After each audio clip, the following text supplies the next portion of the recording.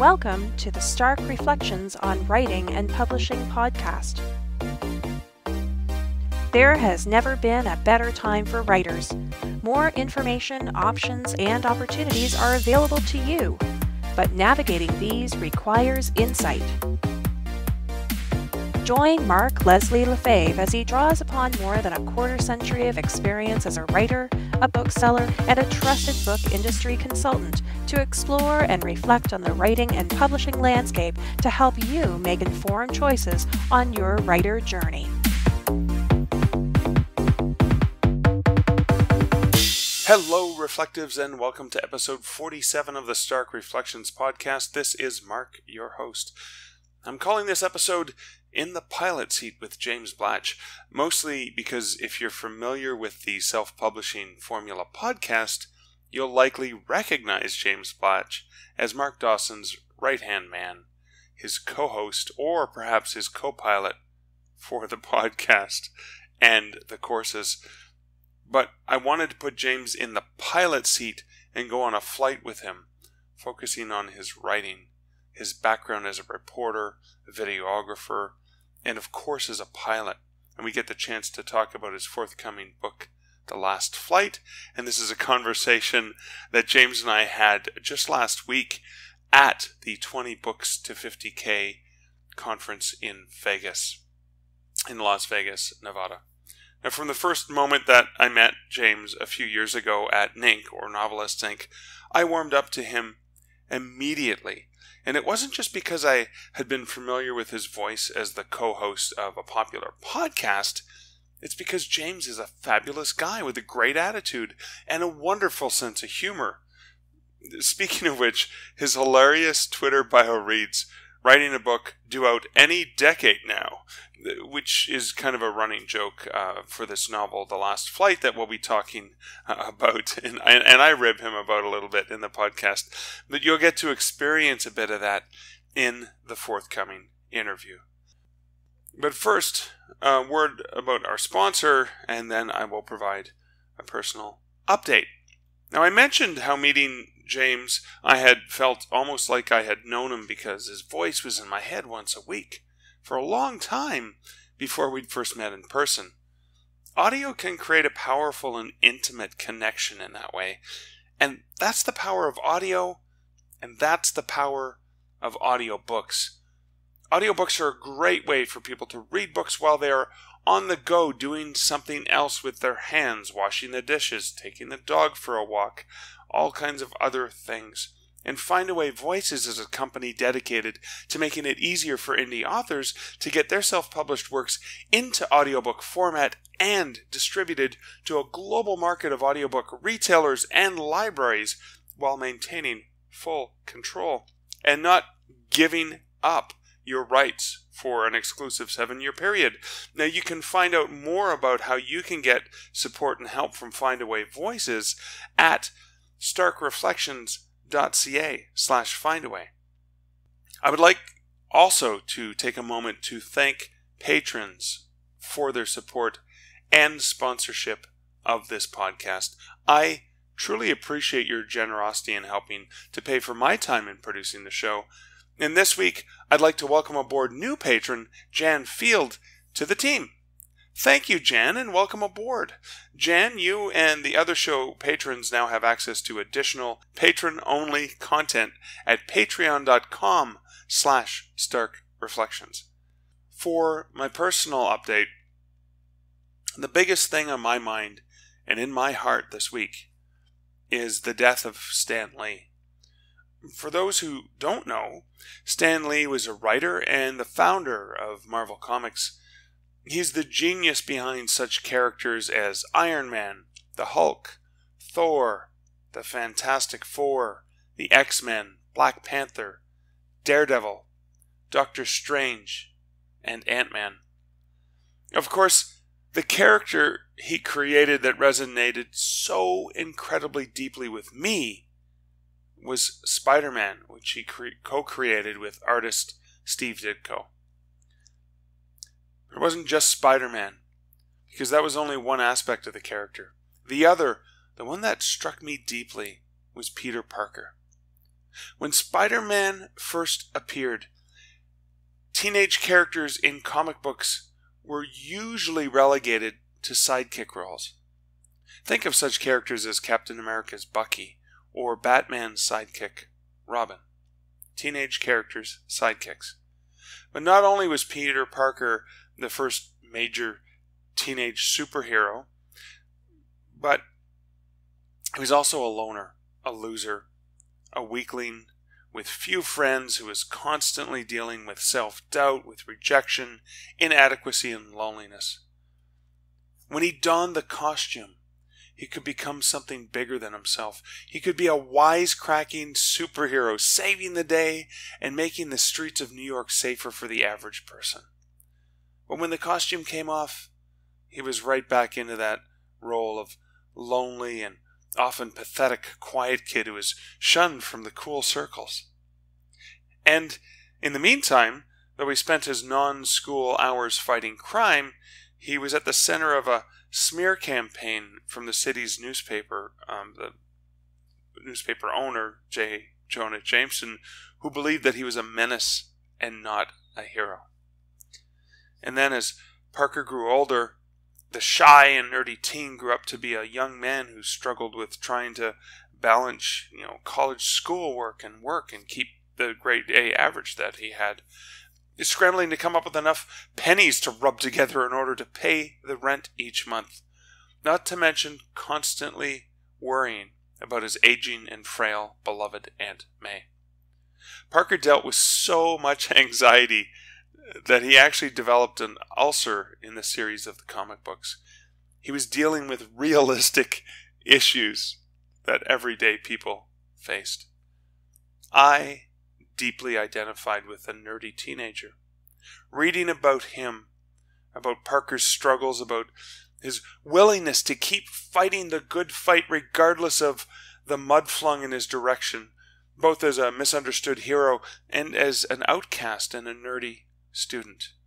He kept wanting to do good. He kept wanting to fight the good fight. Stan Lee crafted a character that I could deeply identify with. A character that I wanted to read about. He created stories that I wanted to escape into, to enjoy and fantasize about. I wanted to be Spider Man. I wanted to be able to shuck off my own nerdy persona and put on a costume and become Spider Man and, and do good and help other people. I mean, anyone who knows me knows I'm a huge fan of Spider Man. I even wrote about the love of Spider Man, the, the belief in the mantra of with great power comes great responsibility, into the character of Michael Andrews, who's the main character in my Canadian Werewolf in New York novel. Stan Lee inspired me. He helped me identify with Peter Parker. And he inspired me to also want to tell my own fantastical stories. Though I never had the privilege of meeting him, he was a mentor and an inspiration to me, and he will continue to be. It's funny, my son called me as soon as he found out that Stan Lee died to ask if I had heard. See, I'd, I'd passed my love and respect for Stan Lee on to Alexander.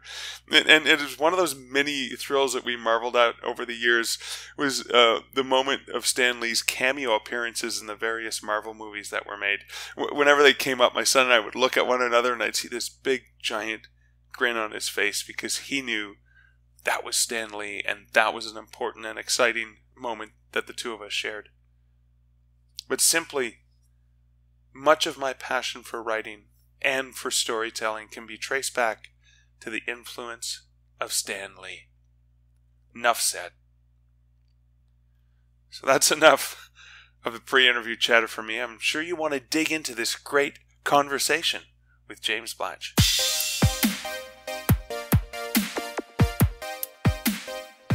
James, thanks so much for joining me here today. Hey, I'm so excited. I mean, here we are in a hotel room in Vegas. What could possibly? What could possibly go wrong? I know. But the thing I'm very excited about is you're usually on the uh, interviewer side of the equation, and I have been long fascinated with your own writing.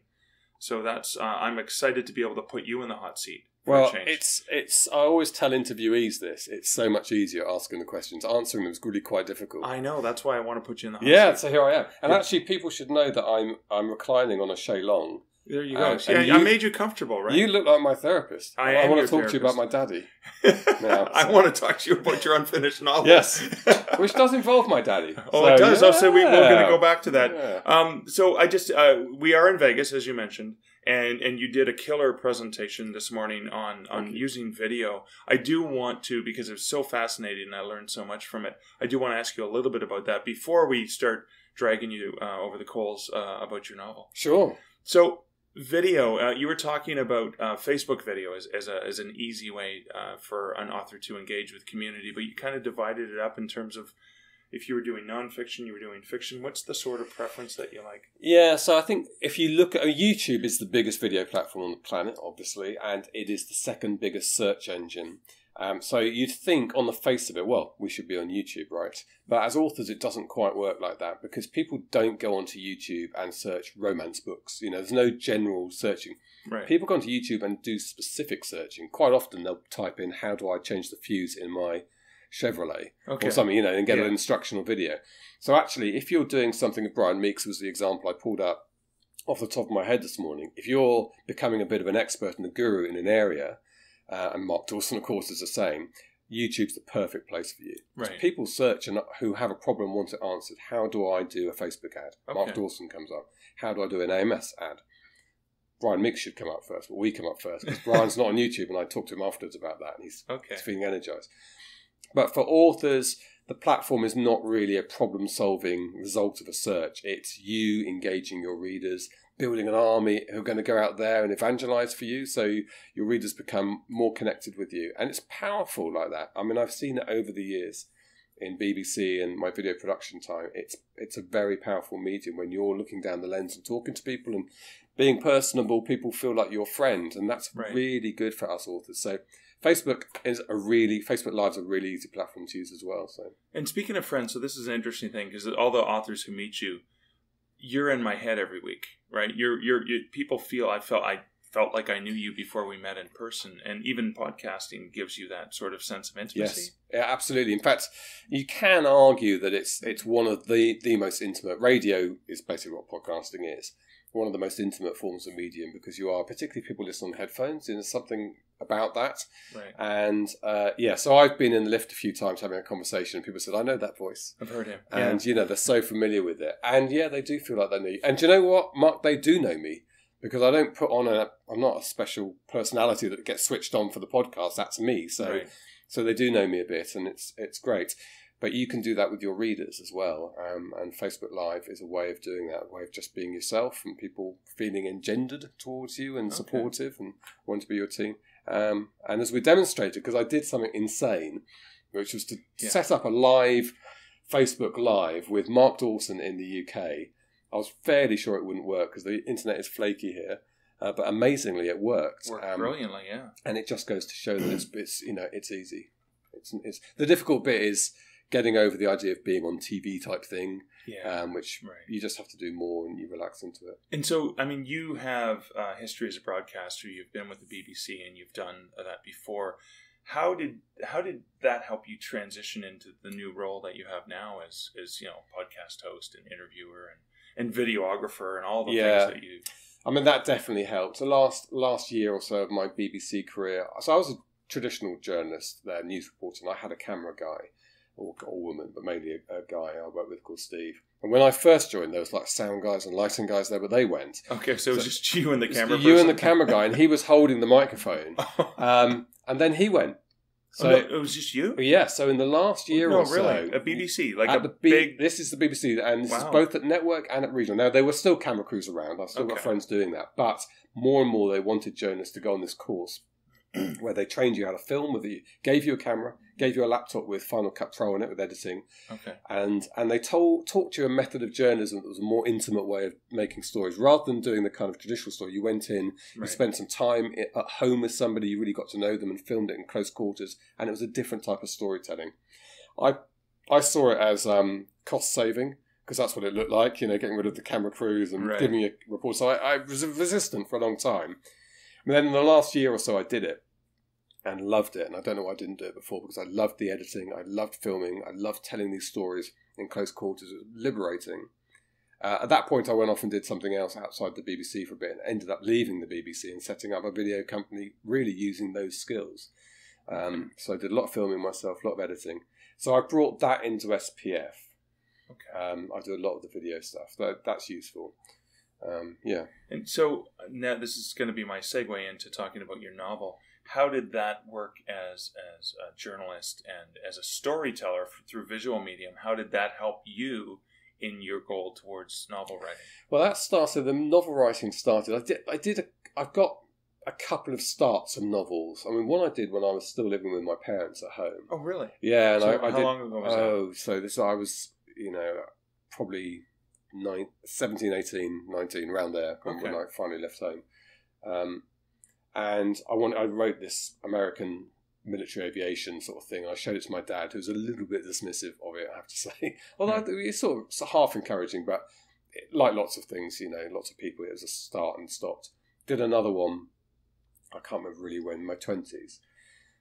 And then nothing happened for a long time. So I was 2010. How old am I? Um, so I was 40 then, and did NaNoWriMo. Did, knew nothing about NaNoWriMo. Okay. And a friend tweeted on it, and I saw this thing. He said, "Oh, I'm going to do this," and I clicked on it. Literally, didn't even read the rest of the page. What it was. Oh, okay, so you write that number of words a day in November, and you've got a novel. Turn that off. Turn open a Word document, and weirdly, this almost fully formed story came into my mind straight like, away, immediately. immediately, and it hasn't changed really since then Okay. not not in its fundamentals. I started writing it and got to the end of that. Incredibly, got to the end of it. So got 50,000, 55 odd thousand words by the end of November. Slowly over the next three or four months, wrote the rest of it. But so I got it to about 100,000 words. But it didn't make any sense because, of course, when you're just writing and not revising, right. you realise as you go on, okay, so I needed different things to have happened at the beginning, and I needed to introduce characters earlier because I now need them here. Right. So you know, well, I'll go back and I'll do that Okay. that whole revision process. But that's by the end of it, it was it was too big a job, and I knew no, I had, no idea what I was doing, and I couldn't do it. Just couldn't do it. So eventually, well, then SPF started. Okay. Mark said to me, I, t- I told him about it. He said, "Get it out, do it." And he encouraged me. And I read one of his books, and his books are quite tight. You know, there's Yeah. quite story, story, story. So I thought, okay, well, I'll strip everything out, uh, all the extraneous stuff. I'll set it over seven days, Monday or Friday to Friday, so eight days. And I wrote the story in its bare bones like that. It wasn't great, but I thought that's what I was doing right. And that was much shorter. It was like 50,000. Well, my editor had a look at it. Just really, we only did this for the 101 course. Right. And she gave me, yeah, she liked, she liked the characters and that story, but said, you know, there's quite a lot still wrong with it. And I got a bit lost then, just in the wilderness years of, of not really knowing how to fix it or whether I had to start again or what I was doing. And then in July this year, I did a podcast interview with Jennie Nash, who is runs the Author. Yes. So you know Jennie, Yeah. So she runs the Author Accelerator program. She's not far from here, actually, in California, and she was brilliant to talk to for me. That was a great episode. Oh, Yeah. she was brilliant, and she you, talked. you could hear the light bulbs oh going off in your head when and you I'm still on that high from that conversation because she offers this program where, and it's not cheap, but you work hand uh, hand in hand with an editor. So basically, they work through the outline at the beginning, and I'm in the middle of it now. Lizette Clark is my editor, and she gets my new chapters on a Tuesday. I get the notes back a few days later, so I do revisions, and then that, it's in that cycle of building Okay. on. So you know, developmentally, it's being edited as you're going along. And crucially, for somebody who's never written a book or published a book before, you're getting feedback about whether it's working or not, Right. which you don't get if you sit by yourself just writing. And of course, we fill ourselves with doubt about that. Um, and Jennie did something amazing at the beginning of this process. So I had this story written twice effectively in different ways. And she says, she asked me a load of questions. but One of the questions she asked me was, why do you need to tell this story? Mm. So I want to know why you why you need to tell the story. And I wrote a page and a half, which was about my dad, about me, about how I was brought up, about the lack of emotion that exists in my father who was a test pilot. Uh, very, if you've anyone seen the Neil Armstrong film, that's pretty much my dad. Very sort of closed up individual. They were contemporaries as well, same time, and um, and I realised I needed to tell the story because I wanted this character to sort of be a character at the same time and place as my dad, who who in the end rejected that, rejected the I'm not going to be unemotional. I'm not going to close myself up Right. because although it gets you through the day and it gets you through the sudden death of friends, which happens in test flying, um, there's a price to pay for that for the rest of your life. It doesn't come without cost, and I've, all this stuff came out, and it was quite emotional. And I, ha- I amazed myself with the. I looked at the answer I'd written to this question and thought, "Wow, that is that is why I need to tell this story." And she loved. She said, "That's why this story is going to work." Because you need to tell, and that's why. And she pulled that out of you after how long that Oh, story's been yes, with you? Yeah. eight years. And that's why it was fully formed in my mind as well. Obviously, it's part of me, this story. So, so this is the book that's not necessarily, you know, the, the great commercial choice, but it's the story I need to write, the book I Yeah, need to. you to have to tell this story. Yeah. So, uh, since working with Jennie, I know Mark teases you about it, and I've teased you Mm. uh, off air You, you're, you're very welcome to. about this. Uh, I mean, the thing I love about uh, self-publishing Formula podcast is the, the two writers, one just starting, and the other Mm. dude writes too many novels a year, right? Like it's, nobody can keep up with them. And Yeah. that kind so uh, I love that dichotomy. Um, but now that you, it seems imminent. Now, now th- there's a light at the end of the James Blatch unfinished novel tunnel, right? Is that Yes. true? Are we yeah. seeing it? Well, I'm I'm forty two thousand words into this developmental edit, okay. um, and actually mm, coming towards the end of Act One, so it feels like it's going to be quite long at the moment, and I might have to revise that. But but if I project forward, if I write at the current, so this has not been a great week in Vegas. I have to say, I didn't write a word yesterday, but I did write all the days leading up to that while I've been away. Oh, you had been writing up until yeah, yesterday. yeah, okay. yeah. Yesterday's the first day I haven't written a word in a long, long time, uh, and I've been doing a minimum sort of eight hundred and often a couple of thousand words a day. So I've been really cracking on because I know what I'm doing now because I've got the direction and I, you know, I know. So it is butt in chair, fingers on keyboard for you. And Yeah, you, you're it is actually committed, and Oh, that's yeah. because of the relationship with Jennie, probably. Yeah, completely. And Lizette, who's actually the so Jennie handed me off to Lizette. So Jennie helped out at the beginning. Oh, to So- get you going. Yeah, I mean Jennie's Okay. like three thousand dollars a month to work with. Okay. She's really good,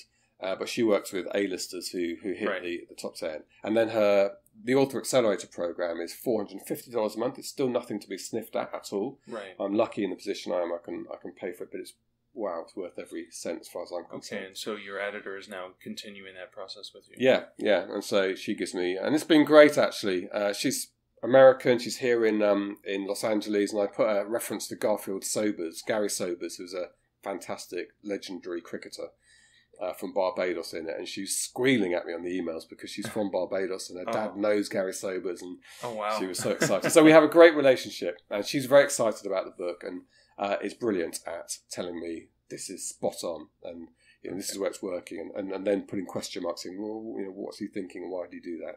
So I go back to the revisions, and I change what was a, a throwaway line where she said, "This is quite an important moment," and turn that into 500 words, and that so that you know by the time we, so while long answer short. I think in sort of eight to ten weeks from now it should be done. wow. I mean, it's done in terms of the Yeah. developmental cut, getting that piece done. Yeah. um, and then we have to do some editing after that. But so. I'm quite excited. I'm very excited. Well, it's, it's it's kind of funny because I mean, you get have had the opportunity. Like most beginning authors, do not have the opportunity to interview the people from the industry Yeah, and, the, and the movers and shakers and all the fascinating things you get to learn. But it wasn't until you met Jennie or interviewed her that the right thing clicked at the right time for you. Yeah. Probably. yeah, that um, is amazing. That was absolute serendipity. And I speak to Jennie now because she does our book lab. Um, in fact, Carlin from BookBub. Yes. So that was an amazing thing at NINC. We didn't Carlin- realize, I had no idea. So Carlin from BookBub who did a brilliant presentation this morning. She was at NINC as well, and Mark's chatting to her, and he invites me over. He's got his beam on his face. He said, "This is Carlin from BookBub," and so guess who her mum is? And of course, it's Jennie Nash. Jennie, yes, So exactly. the Power family, and That she's lovely. Um, so yeah, she's. I mean, Jennie's like. and Carlin's on her way to go see her now, actually. Oh, she is. Yeah, yeah. I did try and persuade Jennie to come out here to Vegas, but uh, couldn't get it. So that's where I am with that. Yeah, I mean, it's it. You know, it's still it is difficult, and I think about it a lot. And you know, every every one of us here who's writing a book knows that it's blood, sweat, and tears. There's Oh yeah, and especially the first it. novel, because the first novel usually is something that that whether or not you recognize it immediately, something that resonates with you emotionally. Uh, that's something that's really really deep, and it's a story you need to tell. Yeah, and this is definitely that. So So, is there? Do you have a? Maybe it's too early. Like, what's your elevator pitch when people ask about the novel? And we say, "Well, what's the novel about?" And you say, "Well, it's about eight weeks from being finished." Yes. No, but, but what is it? Like, do you have a, a, a thing that you tend my- to use yet? my elevator pitch, I guess I should work this out better, but it's um, it's about uh, a young test pilot and an older engineer who work together on a squadron, and the older engineer is killed in a flying accident at the hands of the young pilot who's flying, not his fault. Oh, And after he dies, he starts the old engineer starts giving up his secrets, and the young pilot realizes that he should have been listening to him, that something was going on in the unit, um, and he regrets bitterly not having conversations with him while he was alive. And his only way of uh, assuaging the guilt he feels is to hunt down what he was uncovering and carry on his task. So that's the story. oh wow, that's that's that's great. I'll tell you, like, no, have I ever heard the title? Uh, the Last Flight. The Last Flight. But I'll tell you the Jennie Nash intervention, the biggest single intervention that she and Lizette made together on this, is that my book started with the crash. So the f- opening chapter Was was, the crash, was the okay. description of this flight, and in the middle of it all goes wrong. it start with a bang, right? Yeah, start with a bang, which exactly seems Yeah. like the right thing to do. It's how you open a James Bond film. And and this young guy is stunned at that that Millie, the old, older guy, is dead, and starts giving up her secrets. And it was all a bit mysterious, and I was making some rookie errors, I suppose, in keeping too much concealed and so on. And then Jennie said to me, just Jennie and Lizette, just just write down what the secret is. What what's Millie been up to? So I did a page and a half on that, and they both said to me, "That's the book." So it was a really compelling page and a half describing how Millie worked out that something's not working and that the establishment are ignoring it because it's going to cost RAF lives they can just write off as pilot error in the future. And he was having none of it. Right. And they were closing in on him. So they said, start the book there. Let's have whole of Act One is with Millie and Rob and their relationship. Oh wow. Rob, the young guy, being having his head turned by the fancy test pilots, his world, Right. and Millie becoming a bit of a pain, going on about this the whole time, and Rob not really listening. And suddenly, Rob's uh, Millie's dead. Rob feels guilty, which is a big shock at the end of Act One because people think the story's about Millie for the first act, Yeah. and then he's going to be killed, and Rob is left by himself. So it It's mu- like a George R. R. Martin character preservation. yes, yeah, I- but I love him. yeah, exactly, yeah. But it works much better. I mean, the book suddenly works. Oh, was a then you get that that emotional impact is a lot stronger than Yeah. the Raider, which is great. and Millie's approaching retirement, and we've got lots of stuff with him and his wife. I'm milking it. Oh, that's fantastic. I love that. That's fantastic. Mm. But let's go back to your passion about aviation. Mm. There's a lot of that in the novel. Now, that came from your father, or where Yeah. did that come from? So my dad was a test pilot in uh, in Britain. So he started in the RAF in, in the very early fifties. Flew for the flew the fifties and sixties.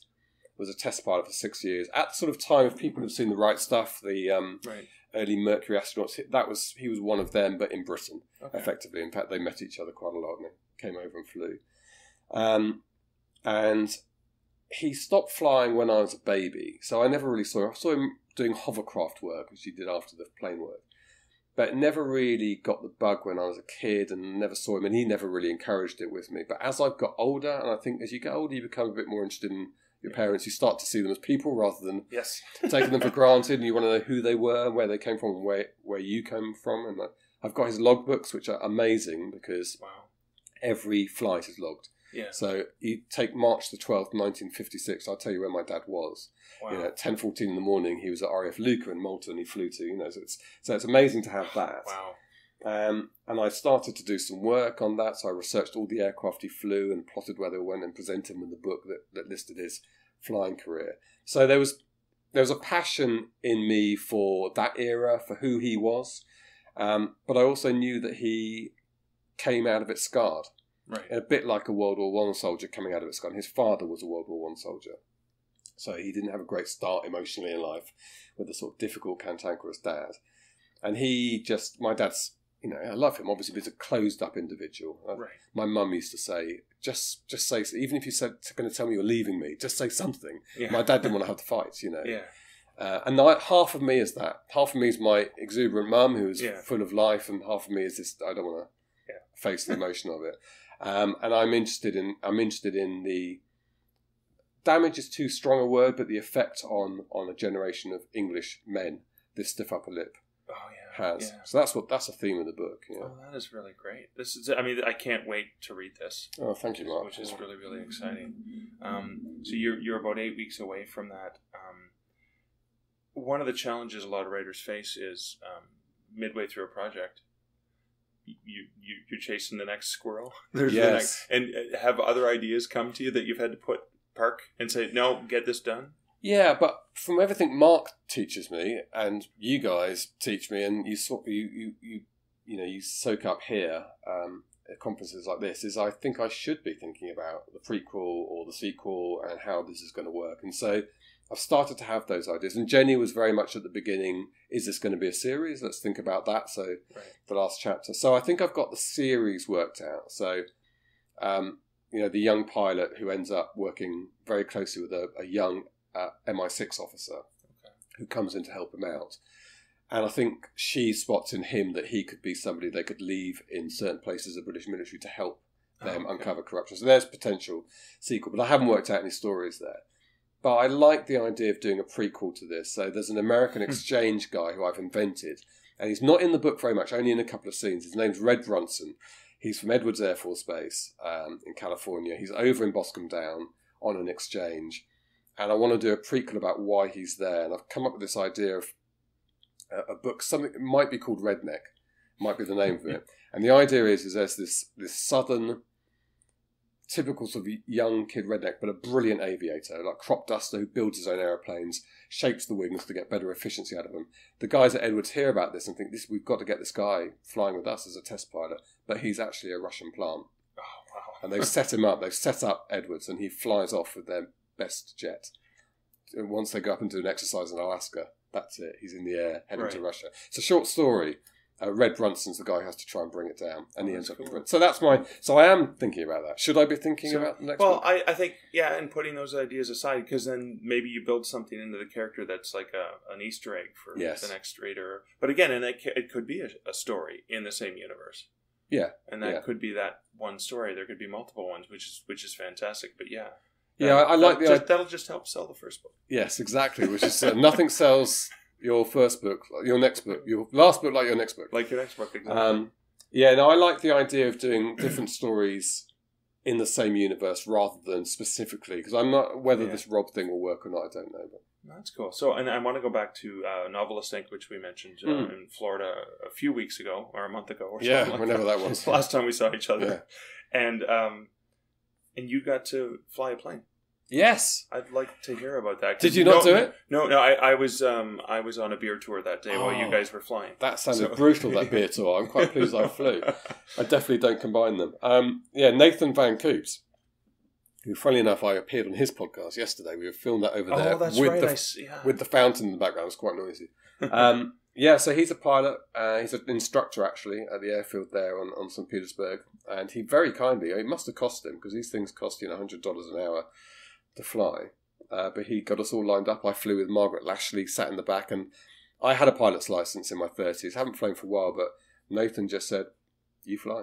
so, So, you actually took over. I took plane. off. The only thing I didn't do was the landing. I'd like to have done the landing, but there were some cranes that you had to do a slight manoeuvre around on short finals and there. it had been a while. So And it'd been a while. Yeah, but I felt I could have done the landing. Landings, it's what it's all about, landing. Anyone can fly straight and level and do a few turns, but landing's where the heart beats a little faster. And that's cool. I was so excited when I saw that you got to do that, having heard heard you talk about your novel. So, I, what I'm really curious about though is, are there any elements from that recent flight that you have already worked into your book? um, that's a good question. I mean, I know quite a lot about flying. I've been lucky with my flying. So I did my own flying, flying license, which is 40 or 50 hours Right. of instruction. Then flew probably another 40 or 50 hours just for fun. I've flown in RAF fast jets in low level scenarios twice in a Harrier, once in a Jaguar. And there, those they were full missions. I was there from the beginning of the mission in the in the jet for the feeling quite unwell at various points, and through that I've flown in Hercules transports. I've had jump seat rides in airlines, all because of my BBC career. So I've got quite a lot of that little detailed knowledge Right. which makes it a bit more authentic. So I'm not sure the flight in St. Petersburg added much more to what I already knew, to be honest, but okay. I just enjoyed it. Well, that's cool. It was, just to, to, to relive that sort of Yeah. uh, experience. So I'm going to take you one last question. hmm Is um, when you think back to that young James, uh, that first NaNoWriMo, when he was Mm. just about to start to tell this Not, story. not that young, but yeah. When that young James, we'll call him young James. yes. When that young James got discouraged, thinking that this was never going to happen, what would you tell him? What would you go back and, and tell him? Yeah, I think I would say anything is fixable. And just because it feels like you can't do it doesn't mean it can't be done. It's obvious that if you just apply yourself um, and learn a bit, you can fix it. And I think probably you shove it away because you just can't see a way of doing it. But that's silly, really, because obviously books do get written Yeah. by people. Um, so, yeah, I think that's what I would tell myself. But on the other hand, you know, ruminating on a story and having it in your mind for eight years is not a bad thing. Right. And some some you know traditional writers who've written much better books than me have done it that way. They've spent a long time gestating the story. Yeah. I do. I mean, Fine wine. yeah. Well, we're in twenty books, which is all about pumping them out, right? And Yeah. um, and I definitely do want to, you know, have a, a, a kind of catalogue at some point. But this book is not quite that. This book is is the labour of love more than anything else. So. That's awesome. Well, thank you so much for hanging out with me today. Let's uh, tell my listeners where they can find out more about you. Yeah, so jamesblatch.com. Okay. There's a, there are a couple of James Blatches in the world. There's um the other one's a bodybuilder in Sydney, who unfortunately He's was nowhere near as tough as you. no strong, no well yeah. he's he's now in prison. He's not in prison, Oh. but he's been arrested for uh, supply of steroids. But he's fighting it. I, I follow his case very carefully because I get his emails occasionally. I get an email that says "Great work on the abs on Tuesday." I'm looking Oh. forward to the quads on Thursday, um, and I forward it on to him, and he says thank you. But he he, uh, he got arrested, and uh, he's just sacked his lawyer, legal team. Got a new legal team, so he's going to go. It's a very slow process. So I'm not him, Okay. big guy. So jamesblatch.com. You are dot com. James Blatch. I've got the dot com. Oh, yeah, so I was quite pleased about because I thought he might have that. Um, and of course, self publishing formula is, is selfpublishingformula.com as well. So. Awesome. Well, James, thank you for inspiring authors every week, and and and thanks for writing and working on this book. I'm looking forward to seeing it. Oh yeah, I can't wait for you to read it. I'm, I'm privileged if you do. So, and I feel like I've uh, been cleansed. Have, have we have we worked through everything? Yeah, In, in, a, yeah. in a nice way. So how much is this again? yeah, it's free. Oh, wow. You're the best Maybe therapist buy me a drink. That'll Yeah, yeah, let's do that. Thanks a lot. I admire how, even though this is his first novel and it's still not complete, that James is focused on the big picture, the long term, and creating the best book that he can.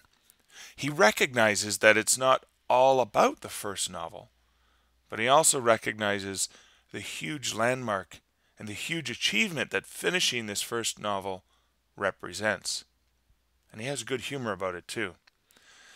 And again, he's not he's not rushing to get this first novel done. He's enjoying and benefiting from the process of working on it with a pro like Jennie Nash. And I'll be sure to provide a link to the uh, interview James did with Jennie for the Self Publishing Formula podcast so you can pick up on the value that she brings to writers if you haven't already intuited that from what James says here, because it's really cool to hear directly from Jenny herself. Um, and the basic the value that she brings to the writers she works with. So his first novel is in progress, but he already has a vision of the long term with respect to his own writing career, and that's something that I really, really admire. And this kind of brings me around to the latest drama in the indie author world. The Amazon apocalypse of 2018, or whatever people are calling it, the dumpster fires, etc. And if you listen to the buzz from the self publishing world, that's what you think is happening. Now, what I'm talking about is the, the, the fact that titles from Amazon.com seeming to disappear, or at least uh, have the buy buttons uh, removed with a, a note that says that this book is not available. And it's happening to thousands of titles. And it's not just indie author titles, but general titles. And the fact that it's happening to all titles um, sort of lends itself to the explanation uh, of what is actually happening. Not that Amazon is out to get us or trying to do anything mean or cruel to us. It's just the latest in this big drama that's distracting writers from the long term or from the big picture. Now, first, I should pause to say I am not making light of this issue. If you are suffering from this issue, I am not making fun of you. I'm not making light of it at all. I recognize the seriousness of what we believe this represents. But bear with me, please, because I think there's a potential seriousness um, to, to what authors think is happening. In fact, it happened to me a few weeks ago to one of my more recent and successful titles that had been selling really, really well. And I also noticed at the same time that this book's buy button uh, disappeared, that the consistent and steady sales dried up. What I don't know is if the petering out of sales and the fact the title wasn't available for sale were actually related. In my panic, I assumed they were related, but that's not always the case. Because here's what I found out now, the Amazon rep who took more than a week and a half to get back to me, and yes, that was a very long week. I tried not to focus only on that. Um, they were confused because they sent me a screenshot. They could see that my title was available for sale all along. They're in the US, I'm in Canada.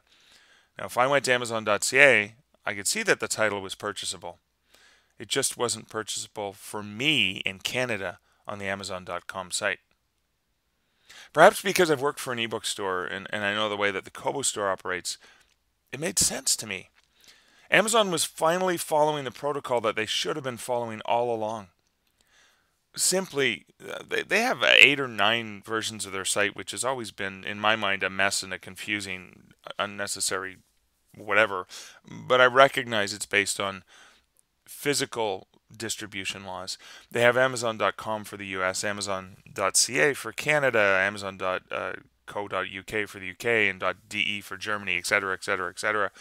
Even their payments come separately as these uh, separate um, business entities where I make most of my money from Amazon.com and Amazon.uk, and then I get these, you know, 50 cent monthly uh, payments from the .de site or, or, or, some of the other sites where uh, the money's not as uh, as big. But even though Amazon is a global company, uh, there are pushbacks that they're likely facing from country and state tax entities, not to mention the global distribution mess that was born out of traditional publishing. Uh, you see, there's distribution laws, mostly due to the nature of how large publisher titles are distributed and how agents would sell rights to different publishers in different countries. Now, even within a massive uh, conglomerate like the world's largest publisher, so the Penguin uh, Penguin Random House uh, Canadian version of a Margaret Atwood book, for example, can only be sold in Canada uh, whether through stores or, or online. And the US edition of that very same book, which sometimes even has a different cover, um, is also owned by Penguin Random House, but it's owned by Penguin Random House US. And that can only be sold in the US. And, and the same would go for the UK edition. And then there's a really more confusion when it comes to the international edition because there's crossovers and Commonwealth and all these different things that happen but this border control that was built for the physical distribution of products because uh, a company uh, would basically Penguin Random House Canada, for example, would have to pay for the rights to have the Canadian version because they wanted to. Well, they don't even do this in all cases, but warehouse it in Canada and dis- distribute it in Canada. Or a third-party company would, uh, for example, with the J.K. Rowling titles, with the Harry Potter titles, you had Scholastic uh, had bought the rights to this UK uh, book uh, to distribute in, in the US, but Raincoast, a Canadian distributor, bought the Canadian rights. And so that's where that is born out of. And then you move that exact same business model into digital, which doesn't work the same way, and then the confusion begins. But Kobo has always handled that very efficiently they're providing almost the exact same browsing and shopping experience in 190 countries no matter how you get to Kobo, unlike the way Amazon did it. But Kobo uses right restrictions, they use currency displays, etc., but they made it transparent. If you go to kobo.com, no matter where you are in the world, and you look up near the top of the screen, you see this little country flag indicating what version of the site you have been automatically pushed to. For me, because my IP address is in Canada, I'm going to see the Canadian flag. If you're looking at the Kobo.com site from the US, you'll see a little US flag. If you're in the UK, you'll see a UK flag. If you're in Australia, Australia, Germany, etc., etc. you can click on that flag and you can be taken to a screen where you can choose other country views so that you can see how your title or, or, or, the main store is merchandised and how it looks in another country. You can see the converted price to euros or US dollars or uh, Australian dollars or New Zealand dollars, for example. You can see the listing, you can see the ranking, etc. But Amazon never did that. They built the world's biggest bookstore on Amazon.com, the world's biggest stuff store and everything store on Amazon.com. They put all their eggs, all their money, all their power, all their resources into it. They built an amazing site that people from around the world use. And then they created these smaller, lesser, other stores for Canada, etc. Now, now I can't really speak to the other stores because I haven't really looked at them, but I but I have looked at the Amazon.ca store and I'm sorry, but the Canadian version of the Amazon store sucks. It is shitty. It's terrible. I, I, shouldn't say that. It's a decent store, but compared to Amazon.com, it's terrible. It doesn't have many of the features that the US or the uh, the .com of the site has. It's like a second or third class citizen.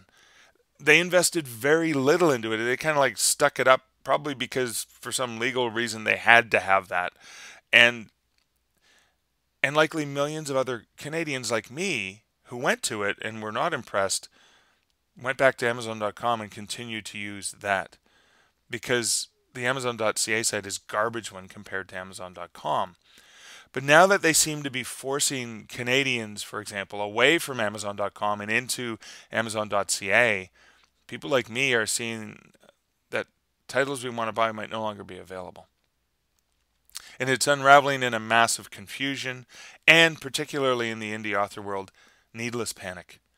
Because right after my book the seven p's of publishing success was fixed they actually did fix this after a couple weeks and the buy button returned for me in canada my even better selling and newer title killing it on kobo then had its buy button disappear which was a bit more of a panic because it was a higher selling title. And yet when I pause to look at the sales trends for that book, I'm still getting sales even though there is no buy button, at least from what I can see here in Canada. And most of my sales are coming from the US store, as per normal. I rarely sell anything on the Amazon.ca site. Of course, now that Amazon seems to be trying to abide by these territory restrictions, perhaps my sales outside of Amazon.com and sales in the Canadian site will be fixed. Perhaps they'll invest more in making the non.com and non-UK versions of Amazon robust and, and better shopping experiences so we don't have to look at .com for anything useful as customers. And, and since I'm not a Kindle reader, I'm talking about shopping there for print books and other non-print book products because you know I buy my ebooks at Kobo because I've always had that and it's always been a great experience. But does this mean that my previous panic over the buy button from the other title was related to the missing buy button or was it related to some other natural sales trend pattern? It's really hard to tell. Now, David Gaughran crafted a blog post that I'll link to in the show notes talking about this issue that easily cuts to the matter. And it's funny because I've seen people who apparently have read and referred to it mention this, even talk about it, but then they still panic over the issue. So you can go to your KDP account and click on the title and see its availability via various Amazon global sites like .com, .ca, etc. So for the US, some of my titles show limited availability under Amazon.com. And when I click on it, it shows this giant list of hundreds of countries and uh, whether it's available or not. And I can see that in the US, my title is indeed available. So uh, an American uh, looking at the .com site will see it available. Um, and it's available in many other countries, but it's not available in Canada nor in uh, several other countries um, as well. So, for example, I have to go to Amazon.ca in Canada to see it as available. So, I did that a couple of times just to check it out. Now I'm done. And I'm getting tired of trying to talk other authors off the ledge when they begin to panic about this horrible atrocity that's ending their world. Again, I'm not mocking, I'm not making fun because it's it's really difficult to reason or to think straight when you're panicked. And I was a panicking author when I first found this on my titles, and and I perhaps even misread the data I was looking at. Now, fortunately for me, I've been in the book industry long enough to know that sales go up and down, trends happen, and half the time it's difficult to determine the cause. Sales ebb and flow.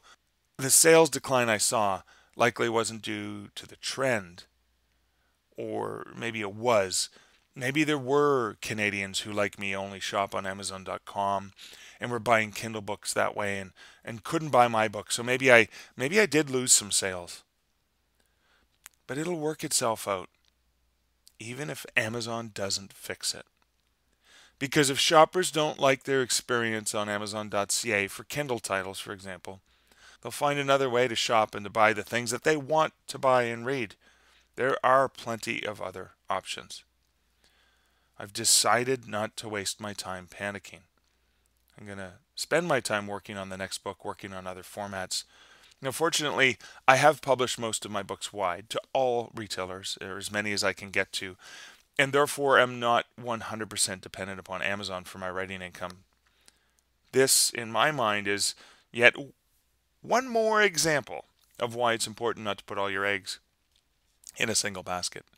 Yes, for me, Amazon's among the two places where I earn the most money as a writer. But but even if there is an Amazon apocalypse, I still have Kobo sales and, and I've been trying to work at growing my sales on Apple Books and on Nook and even in a really, really, really, really small way so far on Google.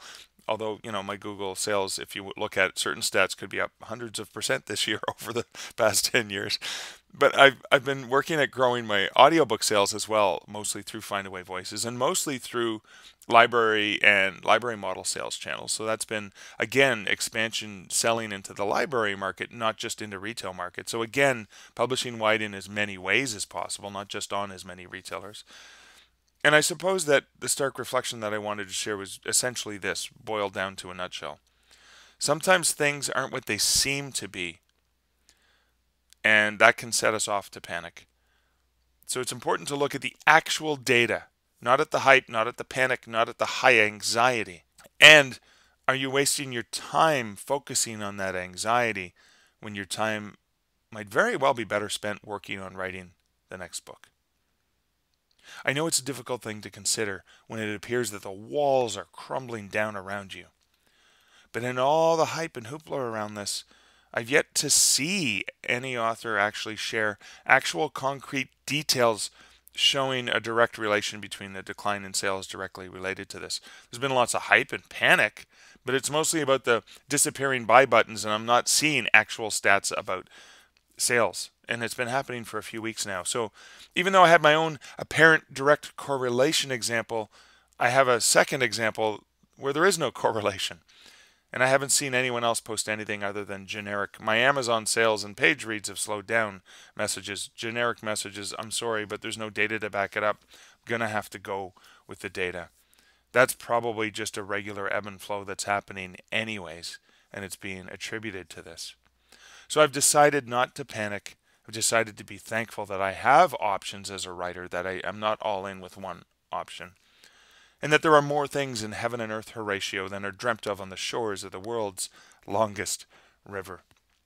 So, again, that was a longer reflection. This is Mark Leslie Lefebvre. Thanks so much for listening to the Stark Reflections on Writing and Publishing podcast.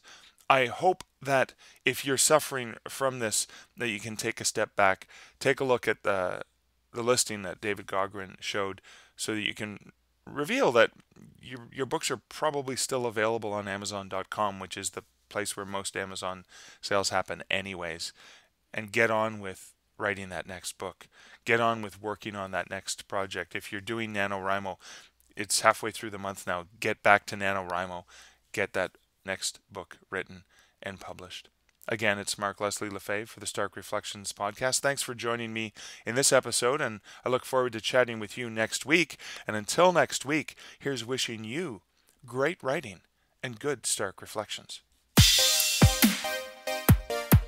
Thank you for listening to the Stark Reflections podcast. You can find show notes for each episode at starkreflections.ca.